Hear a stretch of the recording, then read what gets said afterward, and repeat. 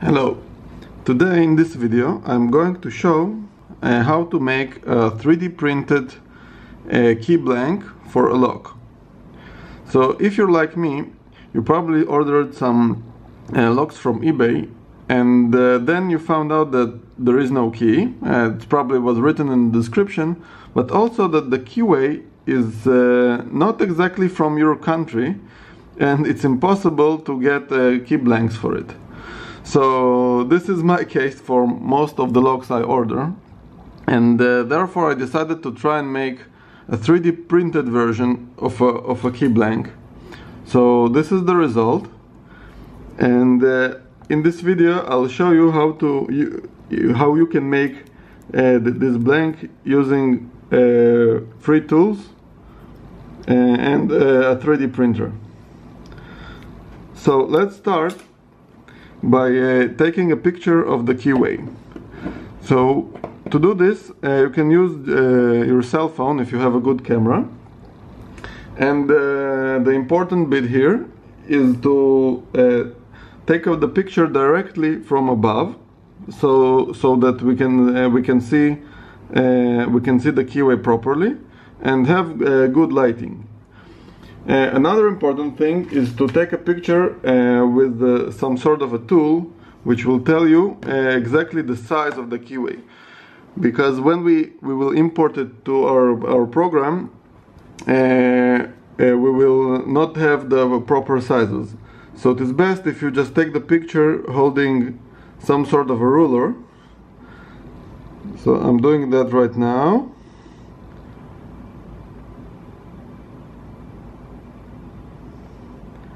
Okay, done.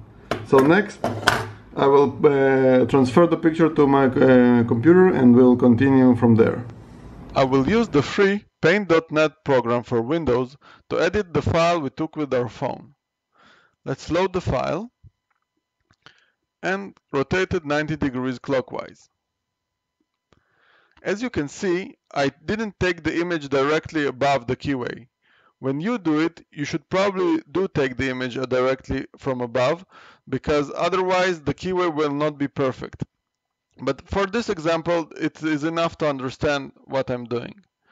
So let's first cut the important par part out of the image.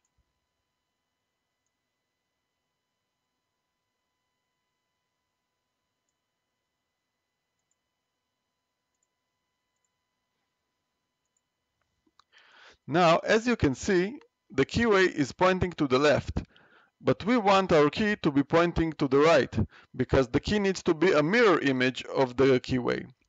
Therefore, it is important that we flip the image before uh, editing it in the 3D software. Let's flip the image horizontally. Also, we want the keyway to be clearer, so we can adjust the contrast and brightness of the image so that it, it will be easier to see the contours of the keyway.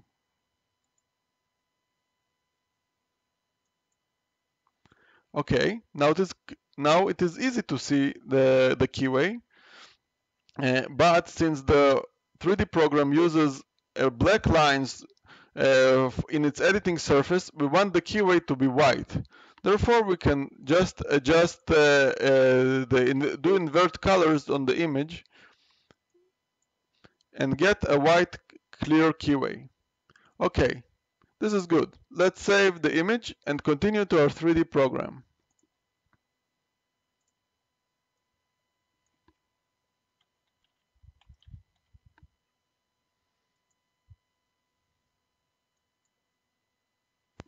I will use the free Google SketchUp program uh, to edit the, the file that we edited with uh, Paint.net.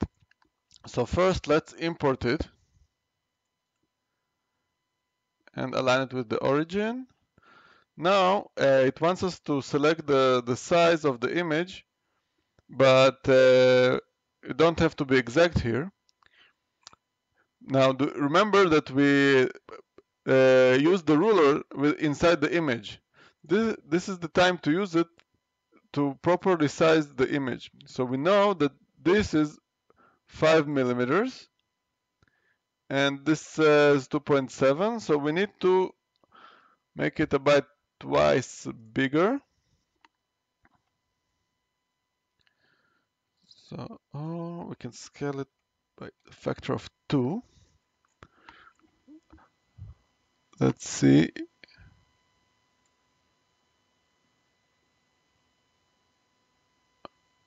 Okay this is a bit too big. So let's scale it again.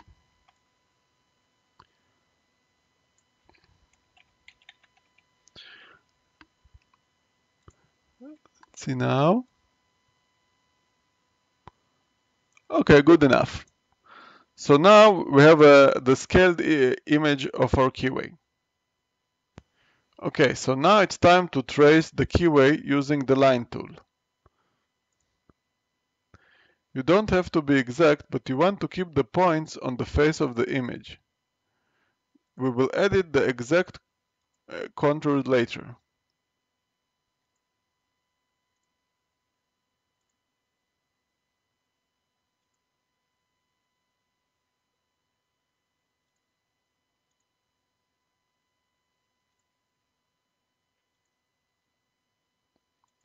Now you can also see why it was important so that the key will be white and not black.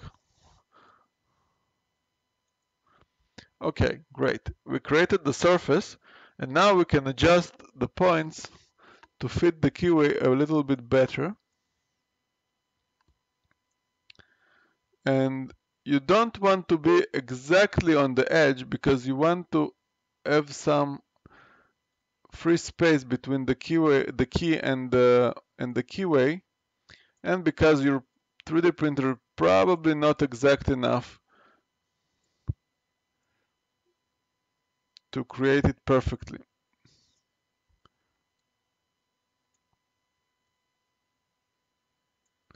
Okay, so this is good enough and we can now delete our original keyway image. Now we want to create the shaft of the key. So I measured the, the log that I will want to use this key, key with, and I know that uh, uh, the length of the key needs to be 30 millimeters. So we can write 30 millimeters. Okay, so this is pretty tall. And uh, now uh, we want to have the leading edge a bit sloped so that the key can go in better. Okay, so uh, let's add some lines and maybe there's a better way to do it, but this is the way I'm doing it. Uh, if you have a better way, I'd love to hear it in the comments.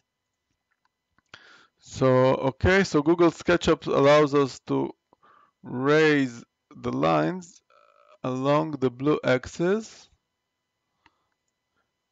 No, let's no, let's select the two lines. So this is a bit tricky. And one. But it's important that you raise you raise it uh, uh, only on the z-axis on the blue axis in this program and it should be about 3 millimeters long. Okay so this will have to do and now it's a bit crooked so let's see if we can raise this point as well. Nope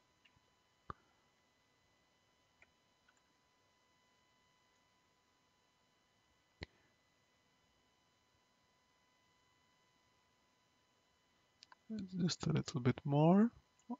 As long as you're on the blue axis, you're fine.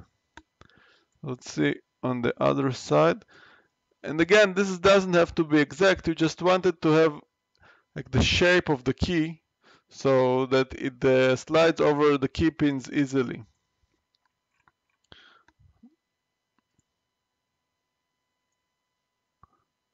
Let's adjust this. As long as you're on the blue axis, you're fine. Okay, so this is pretty good. Now we have the shaft of our of our key at the uh, proper length. Um, and uh, this is the tricky bit because I don't want to print it flat because uh, then the, you have to rely on good adhesion of your printer but I, instead I printed standing uh, standing up so to do so uh, in the next uh, stage we will add um, a base to, to this key now that we have the shaft ready Let's make a base for our key so that we can print it upright. First, we measure the size of the key. Okay, this is about 9 millimeters. And I want to make the base, let's say,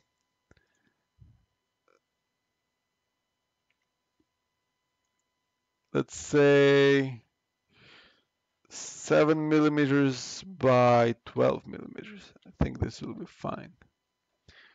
Okay. So the base will, will be consist of two parts.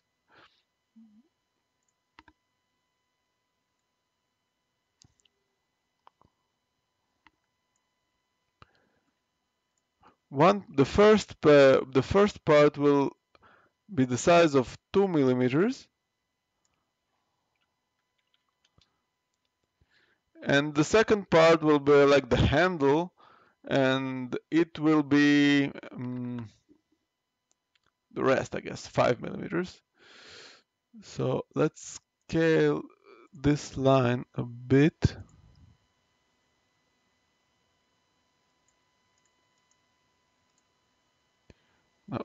doesn't want to scale.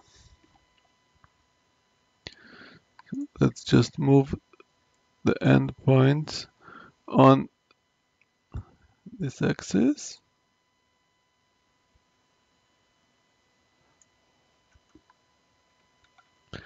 No, so this is not what I want. Let's first create another line here then move the endpoint uh, like yeah two millimeters. And here also two millimeters. And let's see what is the width of this. This is one millimeter. Oh. Let's delete this line. And now we can raise it uh, let's say three millimeters Okay. Let's turn it to the proper orientation.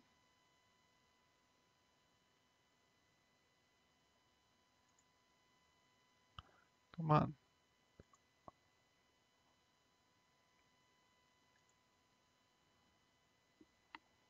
Ah, I think I need to select it. Select all connected. Then and then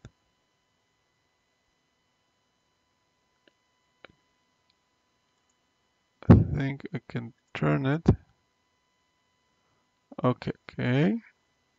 I can turn it 90 degrees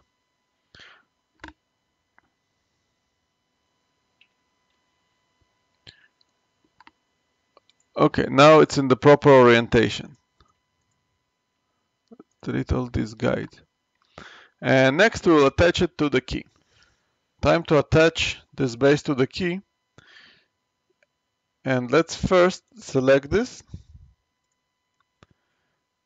and move it a little bit on the blue axis so that we can align it properly with the key So I'll select, I drag it via the midpoint here.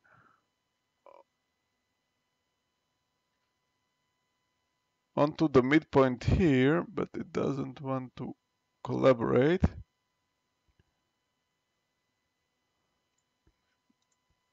Maybe a different angle.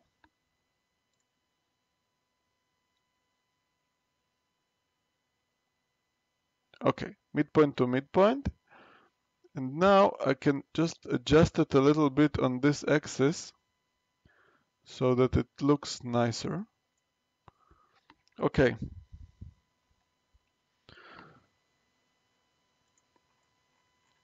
This is done. Uh, we have our key ready. Next is uh, import, uh, export it and adjust it for 3D printing software. Now we can export our key model uh, as an STL file, which can be loaded by our 3D printer. Google SketchUp doesn't come by default with an STL exporter, but you can download it from the uh, Google SketchUp store. Okay, let's call it key.stl, save. Now by default, the models exported with the, this STL exporter are broken and can't be loaded with the 3D printer, but you can load it inside a default Windows 10 program called 3D Builder, which will then ask you if you want to fix or repair the model. Just click yes and the model is ready to be printed. Let's save it as key fixed.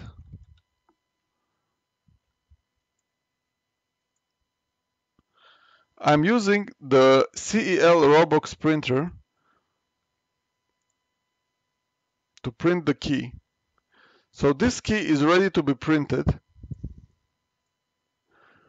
I usually uh, use the medium setting uh, default with 80% fill and with force support brim because the base is uh, so narrow that you should probably uh, use the brim especially if you don't have a heated surface uh, and if you're using ABS like uh, I do. So the keys that you saw in the beginning of the video were printed using these settings, using uh, ABS material. Well, good luck. I hope this tutorial helps.